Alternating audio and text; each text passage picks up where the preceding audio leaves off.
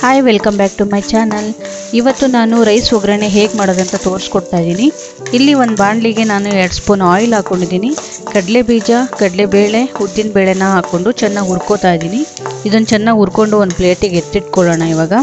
So ಇದಾಗಿದೆ. ಇವಾಗ ನಾನು ಅದೇ ಬಾಣಲಿಗೆ ಎರಡು ಸ್ಪೂನ್ ಆಯಿಲ್ನ ಹಾಕೋತಾ ಇದ್ದೀನಿ ಈ ಆಯಿಲ್ ಚೆನ್ನಾಗಿ ಕಾಯಿಲಿ ಇವಾಗ ಬಾಣಲಿಲಿ. ನಿಮಗೆ ಆಯಿಲ್ ಜಾಸ್ತಿ ಬೇಕಂದ್ರೆ ನೀವು ಇನ್ನೂ ಒಂದು ಸ್ಪೂನ್ ಆ್ಯಡ್ ಮಾಡ್ಕೊಬೋದು. ನನಗೆ ಟೂ ಸ್ಪೂನ್ ಸಾಕು. ಸೊ ಹಂಗಾಗಿ ಎರಡು ಸ್ಪೂನ್ ಹಾಕ್ಕೊಂಡಿದ್ದೀನಿ ಇಲ್ಲಿ ಒಂದುಂಡೆ ಬೆಳ್ಳುಳ್ಳಿನ ಹಾಕೋತಾ ಇದ್ದೀನಿ ನಾನು. ಇದನ್ನು ಇವಾಗ ಗೋಲ್ಡನ್ ಬ್ರೌನ್ ಬರೋವರೆಗೂ ಹುರ್ಕೊಳ್ಳೋಣ. ಚೆನ್ನಾಗಿ ಗೋಲ್ಡನ್ ಬ್ರೌನ್ ಬರಬೇಕು. ಸೊ ಅಲ್ಲಿವರೆಗೂ ಬೆಳ್ಳುಳ್ಳಿನ ಚೆನ್ನಾಗಿ ರೋಸ್ಟ್ ಮಾಡ್ಕೊಳ್ಳೋಣ. ನೋಡಿ, ಇವಾಗ ಇದಾಗಿದೆ. ಇದಕ್ಕೆ ಇವಾಗ ನಾನು ಒಂದು ಸ್ಪೂನಷ್ಟು ಸಾಸಿವೆಯನ್ನು ಹಾಕೋತಾ ಇದ್ದೀನಿ. ಸೊ ಈಗ ಸಾಸಿವೆ ಕೂಡ ಚಿಟಪಿಟ ಅನ್ನೋವರೆಗೂ ಚೆನ್ನಾಗಿ ಫ್ರೈ ಮಾಡ್ಕೊಳ್ಳೋಣ. ಇದಕ್ಕೆ ಇವಾಗ ನಾನು ಮೂರರಿಂದ ನಾಲ್ಕು ಹಸಿಮೆಣ್ಸಿನ್ಕಾಯಿನ ತೊಗೊಂಡಿದ್ದೀನಿ. ಸೊ ಅದನ್ನು ಹಾಕ್ಕೊಳ್ಳೋಣ ಇದನ್ನು ಚೆನ್ನಾಗಿ ಬಾಡಿಸ್ಕೊಳ್ಳೋಣ ಇವಾಗ. ಹಸಿಮೆಣ್ಸಿನ್ಕಾಯಿ ಚೆನ್ನಾಗಿ ಎಣ್ಣೆಯಲ್ಲಿ ಫ್ರೈ ಆಗಬೇಕು. ಚೆನ್ನಾಗಿ ಫ್ರೈ ಆದಷ್ಟು ನಮಗೆ ಟೇಸ್ಟು ಚೆನ್ನಾಗಿ ಬರುತ್ತೆ. ಸೊ ಹಂಗಾಗಿ ಎಣ್ಣೆಯಲ್ಲಿ ಚೆನ್ನಾಗಿ ಫ್ರೈ ಮಾಡ್ಕೊಳ್ಳೋಣ. ಇದು ಇವಾಗ ಚೆನ್ನಾಗಿ ಫ್ರೈ ಆಗಿದೆ. ಇದಕ್ಕೆ ಇವಾಗ ನಾನು ಮೂರಿಂದ ನಾಲ್ಕು ಕರಿಬೇವನ್ನ ಹಾಕೋತಾ ಇದ್ದೀನಿ. ಅಂದರೆ ಚಿಕ್ಕ ಚಿಕ್ಕ ಕಡ್ಡಿಗಳು. ಸೊ ನಿಮಗೆ ಎರಡು ಕಡ್ಡಿ ಸಾಕು ಎರಡು ಕಡ್ಡಿನ ಹಾಕೋಬೋದು. ನನಗೆ ಸ್ವಲ್ಪ ಕರಿಬೇವು ತುಂಬಾ ಇಷ್ಟ. ಮತ್ತು ಹೇಳಬೇಕಂದ್ರೆ ಇದಕ್ಕೆ ತುಂಬಾ ರುಚಿಯಾಗೂ ಕೂಡ ಇರುತ್ತೆ ಕರಿಬೇವನ್ನ ಜಾಸ್ತಿ ಹಾಕೊಂಡಷ್ಟು. ಸೊ ನೀವು ಕರಿಬೇವನ್ನ ಸ್ವಲ್ಪ ಬೇಕಂದರೆ ಸ್ವಲ್ಪನೇ ಆ್ಯಡ್ ಮಾಡ್ಕೊಳ್ಳಿ. ಇದಕ್ಕೆ ಇವಾಗ ನಾನು ಒಂದು ದೊಡ್ಡ ಸೈಜಿಂದು ಈರುಳ್ಳಿನ ತೊಗೊಂಡಿದ್ದೆ. ಈಗ ಅದನ್ನು ಹಾಕೋತಾ ಇದ್ದೀನಿ. ಅದನ್ನು ಚೆನ್ನಾಗಿ ಗೋಲ್ಡನ್ ಟೋನ್ ಬರೋವರೆಗೂ ಫ್ರೈ ಮಾಡ್ಕೊಳ್ಳೋಣ.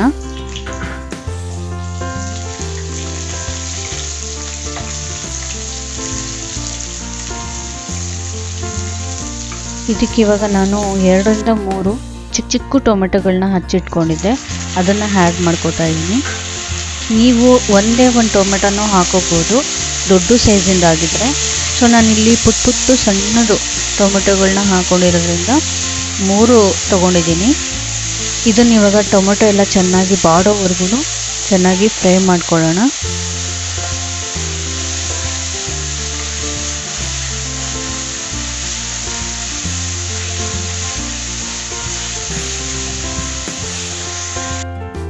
ಟೊಮೆಟೊ ಎಲ್ಲ ಚೆನ್ನಾಗಿ ಬಾಡಿದ್ಮೇಲೆ ಮೇಲೆ ರುಚಿಗೆ ತಕ್ಕಷ್ಟು ಉಪ್ಪನ್ನು ಹಾಕೋತಾ ಇದ್ದೀನಿ ನಾನು.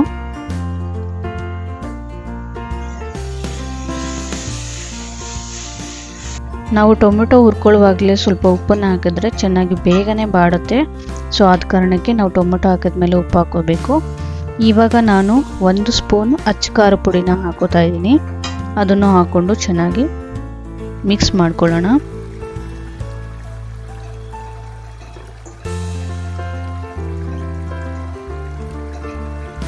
ಈಗ ಎಲ್ಲದನ್ನು ಚೆನ್ನಾಗಿ ಮಿಕ್ಸ್ ಮಾಡಿದ ನಂತರ ನಾವು ಅವಾಗಲೇ ಎಣ್ಣೆನಲ್ಲಿ ಕಡಲೆ ಬೀಜ ಕಡಲೆಬೇಳೆ ಉದ್ದಿನ ಬೇಳೆನೆಲ್ಲ ಹುರ್ಕೊಂಡಿದ್ವಲ್ಲ ಸೊ ಅದನ್ನೆಲ್ಲದನ್ನು ಹಾಕೊಂಡ್ಬಿಟ್ಟು ಇದಕ್ಕೆ ಮಿಕ್ಸ್ ಮಾಡ್ಕೊಳ್ಳೋಣ ಇವಾಗ.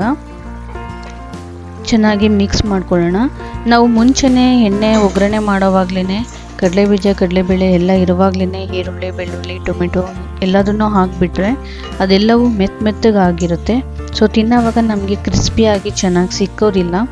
ಸೊ ಹಂಗಾಗಿ ಆ ಉದ್ದೇಶಕ್ಕಾಗಿ ಚೆನ್ನಾಗಿ ಮುಂಚೆನೇ ನಾವು ಹುರಿದಿಟ್ಕೊಂಡು ಸಪ್ರೇಟಾಗಿ ಎತ್ತಿಟ್ಕೊಂಡು ಹಾಕೋಬೇಕು ಕುನಿನಲ್ಲಿ. ಸೊ ಇವಾಗ ನಾನು ಒಂದು ಸೈಡು ರೈಸ್ ಇಟ್ಕೊಂಡಿದ್ದೆ. ಬಿಸಿ ಬಿಸಿ ರೈಸನ್ನು ಒಂದು ಬೌಲ್ ತೊಗೊಂಡಿದ್ದೀನಿ ಆ ರೈಸನ್ನು ಇವಾಗ ಇದಕ್ಕೆ ಹಾಕ್ಕೊಂಡು ಮಿಕ್ಸ್ ಮಾಡ್ಕೋತಾ ಇದ್ದೀನಿ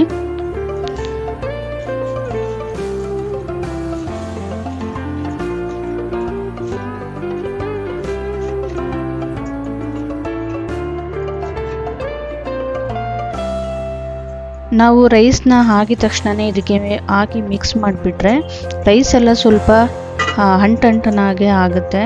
ನಾವು ಸ್ವಲ್ಪ ಹುಡಿ ಹುಡಿಯಾಗಿ ಆಗಬೇಕಂದ್ರೆ ರೈಸು ಸ್ವಲ್ಪ ತಣ್ಣಗಾದ ನಂತರ ಇದಕ್ಕೆ ಹಾಕ್ಕೊಂಡು ಮಿಕ್ಸ್ ಮಾಡ್ಕೊಬೇಕು.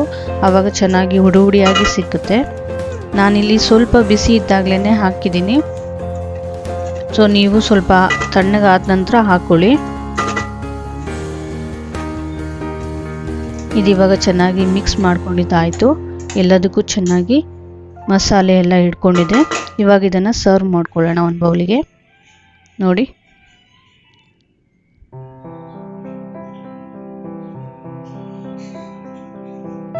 ರುಚಿ ರುಚಿಯಾದ ರೈಸ್ ಒಗ್ಗರಣೆಯನ್ನು ಹೇಗೆ ಮಾಡೋದಂತ ನೋಡ್ಕೊಂಡು ಬಂದ್ರಲ್ಲ? ಸೊ ಈ ವಿಡಿಯೋ ನಿಮ್ಗೆ ಇಷ್ಟ ಆಗಿದ್ರೆ ಲೈಕ್ ಕೊಡೋದನ್ನು ಮರಿಬೇಡಿ. ಇನ್ನೂ ಯಾರು ನನ್ನ ಚಾನಲ್ನ ಸಬ್ಸ್ಕ್ರೈಬ್ ಮಾಡ್ಕೊಳ್ಳಿ ನೋಡ್ತಾ ಇದ್ದೀರೋ, ದಯವಿಟ್ಟು ಸಬ್ಸ್ಕ್ರೈಬ್ ಮಾಡ್ಕೊಳ್ಳಿ.